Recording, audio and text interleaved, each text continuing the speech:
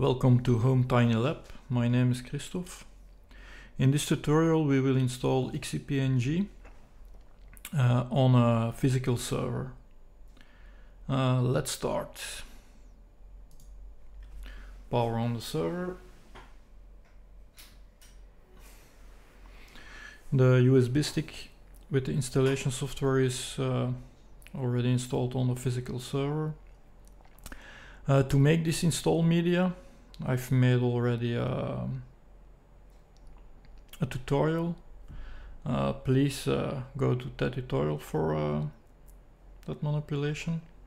The installation is already started. You have to do nothing, touch nothing. Only wait if you want up is uh, starting up. We are waiting for the logo of XCP-ng order installation screen. So I've chosen to install XCP-ng because it's uh, it's a software that's really easy to install to begin with, small footprint. Um, I am installing this not on a, on a server, it's on uh, consumer hardware. Uh, it's a Haswell processor, an i3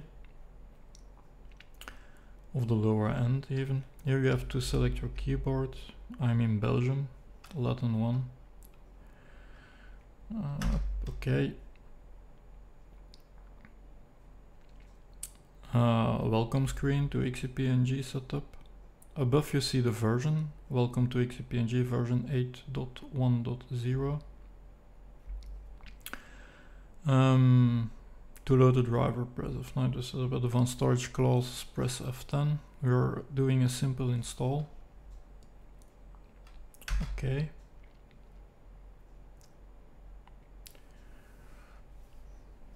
Uh, the end user license agreement. Uh, XCP-ng is based on open source. Um, it's based on Xen server. Okay, we will accept. It's not an upgrade. We'll do a clean installation. Why is he asking this?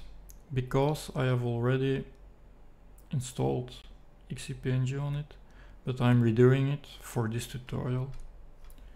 Uh, going to OK.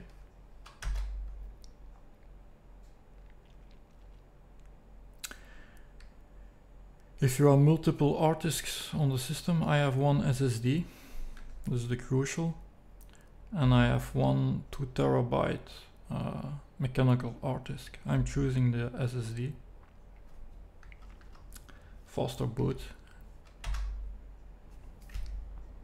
Okay. Um,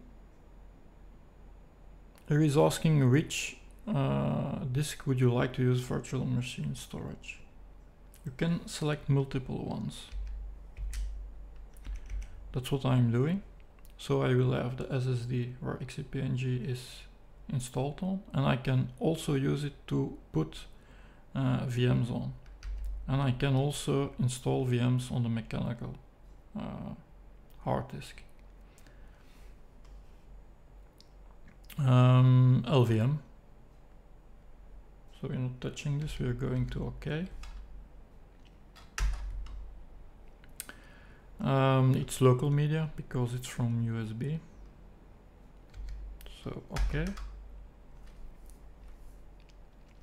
We're skipping verification. If you're doing this with a, a USB stick that you're using for the first time, I would not skip verification. If you're using your XCP-ng hosts uh, in a production environment, I would not skip verification. Verification is, the, we will skip this for now, going to OK. And now you have to give your very secret password. Don't forget it. Makes if makes life easier if you don't forget it. Oh, this is done. Okay. Oh, they did not match. Let's redo it.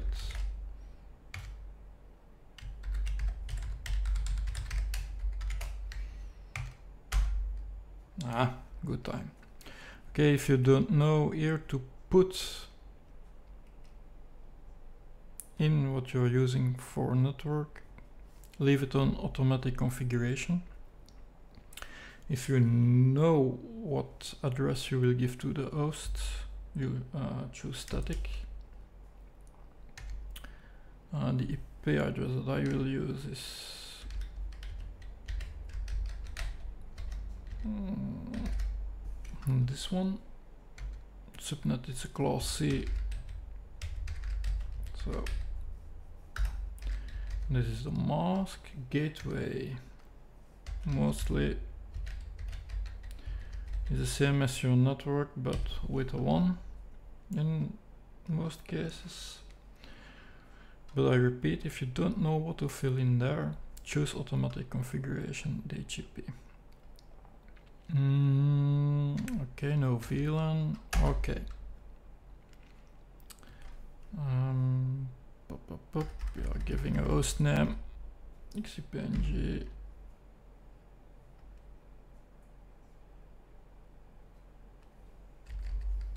host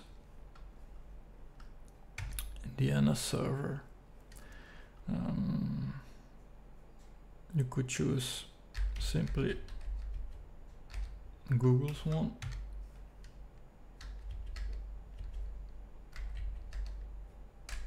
Oops.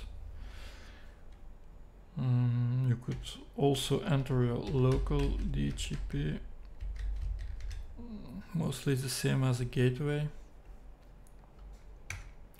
And okay. Okay, geographical Europe.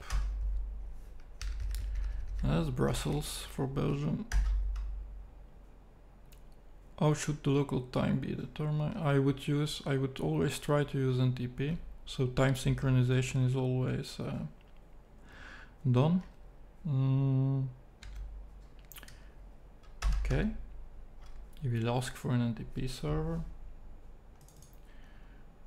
So you could use the generic one uh, like um, here set pool.ntp.org. Because I'm in Belgium, I can use, I will narrow it down to Belgium pool.ntp.org.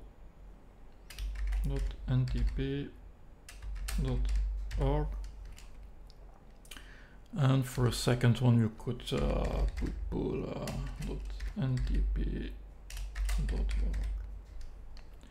Uh, Okay, what you always uh, could do instead is uh, creating your own NTP server and use that one. But like you're starting up a home lab, I suppose you don't have all that in place. Okay. We have collected all the information. Install XCP-ng. Up installation process is started. Preparing for installation.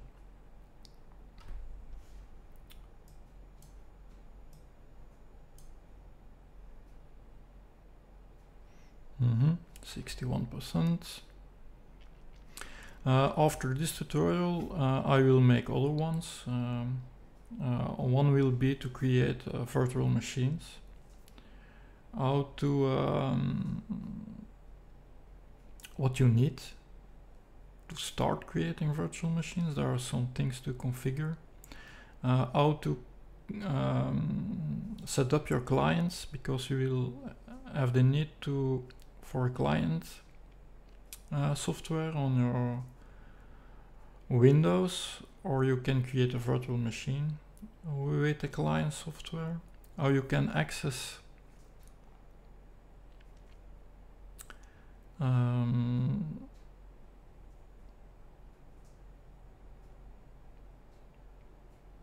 other resources um, like uh, other other um, uh, NICs installed in the system, um, perhaps graphical card that we want to access from a virtual machine. That will be in, in the following tutorials. So if you don't want miss all of that, uh, please subscribe. Um, it's appreciated. 64%.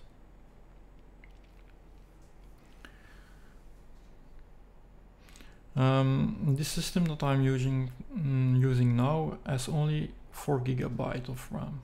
What's not enough to do virtualization in most cases. So we will in the future upgrade this. There will be also a video on this. So how to upgrade your memory. Uh, it's not a tricky one. It's opening the, the, the what you're using as server and and changing the memory in most cases or adding some memory. Uh, no supplemental packs to install. Completing installation. It's working. So in the future, if you have a lab like this, to deploy machines will normally be faster all depends on the architecture that you're using, hardware architect architecture, uh, how you're accessing your VMs over the network or local on the system. All those things will, will improve or complicate the things you're deploying.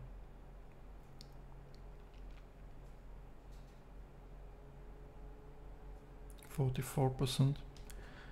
The little server is uh, working very hard for the moment. I hear the the fans uh, the fans uh, ramping up in RPM.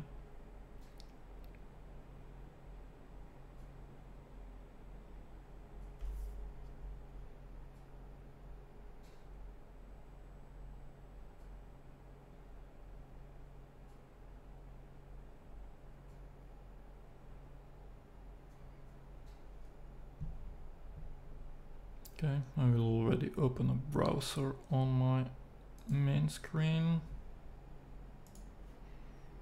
because we will need it to show off some of the installation. What we also can do is uh,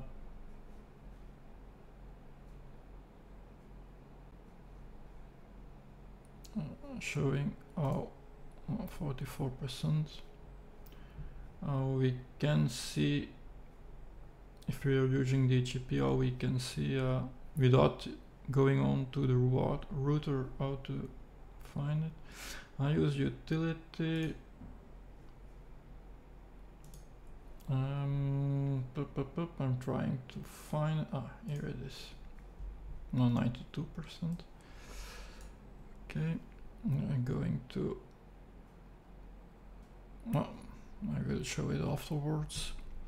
Um, installation is complete. Please remove any local media from drive and press enter to reboot. So I'm going to remove the USB stick. Ah, that's done. Uh, okay, it's rebooting. Now we will look at the rebooting process. Mm -hmm.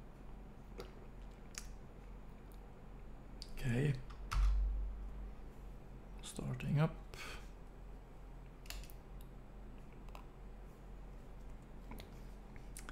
Ah, XCP-ng boot up screen. It's on an SSD, so there are no much other things to start up. There are no VMs on it, so it will go relatively fast.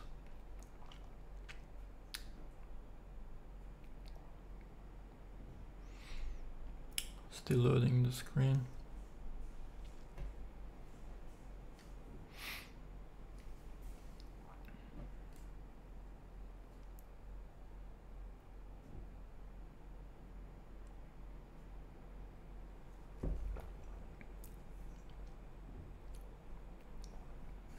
Okay, so if you see this screen when you have installed XCP-ng, this means that uh, it was successful. Uh, here you can see the IP address that we gave. If you're using DHCP, you will see the IP address there of your system. Um, the status display. Okay, it's not, some things are self-explaining, others are not really, but we are going to leave this for the moment. That's for another video, but you have the installation done. It's uh, one first big step. Now I'm going to my main screen. Okay. You can download the software. I put also the link in the comment in uh, the description section of the channel. A software advanced IP scanner and with that you can scan in your network if you don't have uh, a monitor all the time because with DHCP your address can change if you're not configuring it in your in your router to deploy always the same address. So you can scan.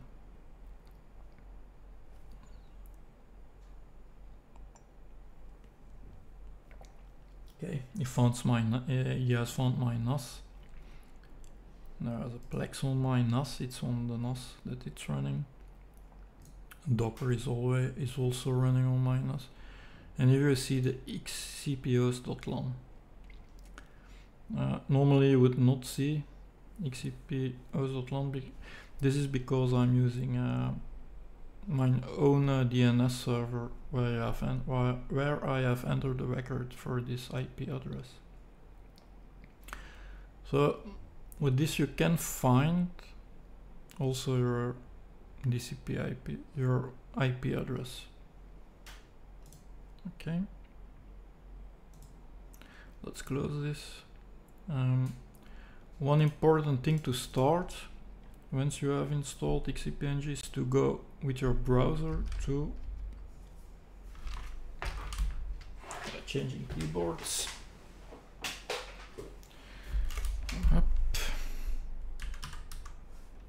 Um, it was 30 okay. So from this page you can uh, download the software client XCP-ng Center for Windows if you're using it from a Windows client. If not you could use Xen Orchestra but it will be a limited version. Uh, if you are not um, it will be limited to 30 days if you're using this but I will um, make a tutorial on how to install Xen Orchestra from source so that you have all functionality uh, without a problem.